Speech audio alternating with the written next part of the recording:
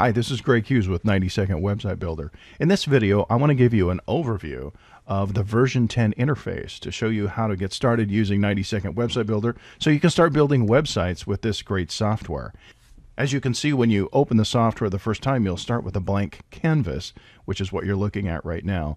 Off to the left is our toolbox, and then over to the sides here, we'll be looking at some of the other palettes or windows we call them site manager as well as the properties inspector window down here. But let's go over some of the basics of where everything is. I won't go into detail on these features and tools because we have videos for those. This is just kind of a broad stroke uh, overview, a bird's eye view, if you will, of the software. Right now, I have the home menu showing, as you can see here. And under the home menu is where you'll find those familiar things like uh, cut, copy, and paste, as well as undo and redo, and some of these other editing features that you'll be used to. Also, you'll be using the preview feature a lot when you work with 90 Second Website Builder. So we've made it easy to get to just by clicking this button where you can preview your work in a local browser before you actually publish it to see what your website's going to look like online.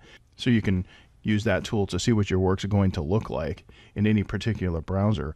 Next to that, of course, is the publishing tool where you can publish your website anytime you want to, right to an, a server, an FTP server, or your web hosting account, in other words, or publish it directly to your desktop and work with those HTML files if you choose. Either way, that's where the publishing button is. It's one of the places it is. One of the things you'll notice is there are multiple places where these tools are accessible to make it easier for you to work with the software. Also, you'll see under the home menu the properties for the entire project, which is what this represents, as well as some new things such as an animations feature a quicker way to go to where you would create events. And I won't go into what events are here, but again, we'll have videos about most of these features more specifically. If we switch to the insert menu, you'll see where all of the tools are represented more graphically here for you to grab.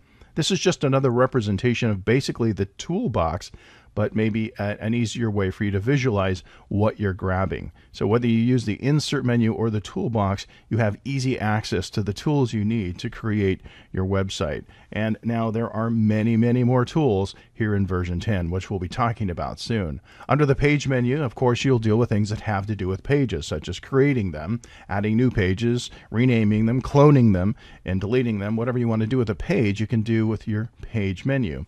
A lot of what you can do in the, under the page menu, you can also do over here in the Site Manager. If you've used other versions of 90 Second Website Builder, you'll recognize that those features are also over here under this palette.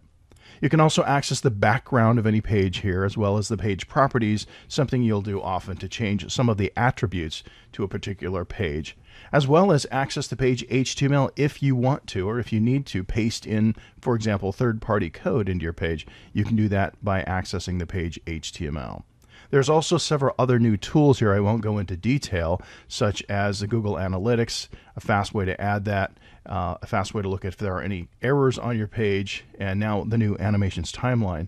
But I want to point out one of the most important new things here under the page menu is the responsive web design tool. And of course, we'll be talking about that more specifically in the responsive web design videos. But this is where you would be able to add breakpoints for your responsive web design. And again, we'll talk about what those are later. Under the view menu, it's a really convenient way for you to control the interface so you can see what you want to see and put away what you don't want to see. So, for example, you can toggle things on and off. If you don't want to see this toolbox, you can toggle that off and toggle it back on under the view menu. Sometimes it's a good idea to know about this because often people will accidentally click a button. Say you clicked this close button and lose your toolbox. If you didn't know where this was, you wouldn't know how to come back in here and turn that on. And that's true for all of the palettes, including Site Manager and Properties Manager, Properties Inspector, as well as many of the other palettes.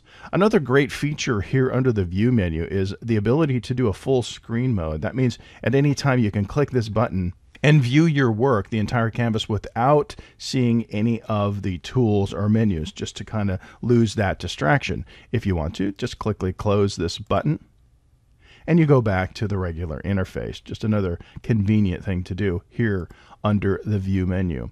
You'll also be able to set up guides and rulers. And again, there's videos just about how to use these specifically, but I'm showing you how to access those options. If you want to turn on a grid so that you can line things up or snap to the grid, you'll be able to do that here under the view menu. You can also zoom in and out of the canvas if you want to look at something very, very closely or back up and look at it at a broader view. You'll be able to do that with the zooming tools. The arrange menu I use a lot because it helps you line up objects since this is a drag and drop interface and you can put things anywhere you want on the canvas.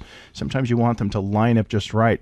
And it's here that you'll be able to do that and align everything by their edges, left, center, right, top, etc., as well as move things forward and behind of each other by using the arrange tools here under this menu can also rotate objects, group and ungroup objects, and even lock objects. Sometimes when you put several objects out onto your canvas, you sometimes want to lock them down so that you don't bump into them or accidentally grab them when you're moving things. And this lock tool comes in really handy for that.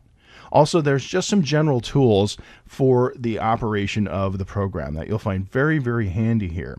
One of them is new, is the animations manager, and we'll go into that later. Also, a backup manager because you want to keep your work backed up. If something were to happen to your computer, your projects can be backed up as you're working on them. Also, with the full version of 90 Second Website Builder, you have access to third party extensions or add ons. You can manage those with the new Extension Manager tool that's right here, as well as managing themes for the page. And now, with the new built in mobile site builder in version 10, we have a mobile theme manager here under the Tools menu.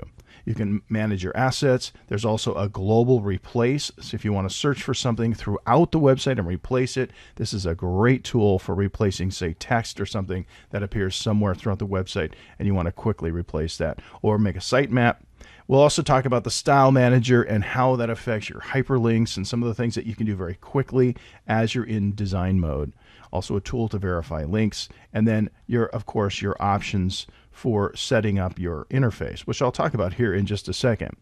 Under the help menu is the obvious help where you can get support. If you click on this help button, you'll bring up an online interface for you to search for topics if you need to look at the documentation for 90 Second Website Builder while you're working in the software. But you can also go right to the website. If you click on the Getting Started, you'll go right to the video tutorial page that's online, or you can go to the website and get support.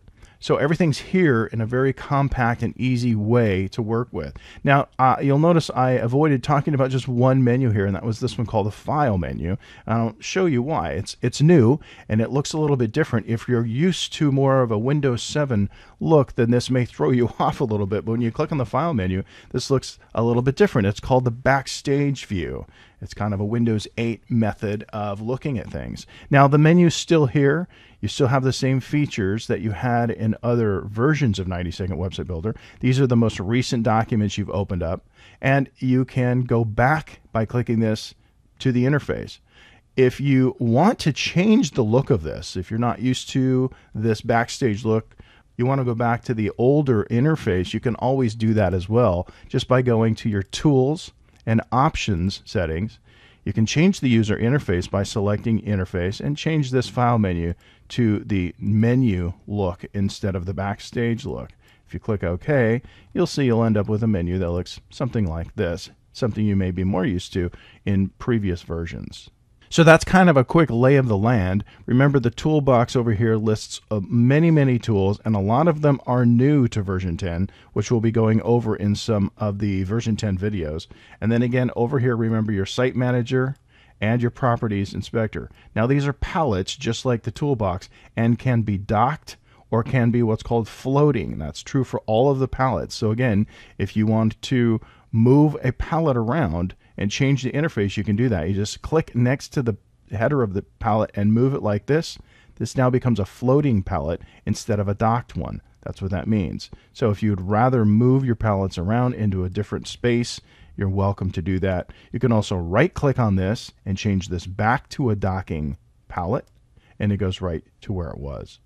So, anyway, that's a quick overview of the interface for the new version 10 software for 90 Second Website Builder. As you can see, you can get around easily, grab the tools and features and functions that you need, and start building websites with 90 Second Website Builder.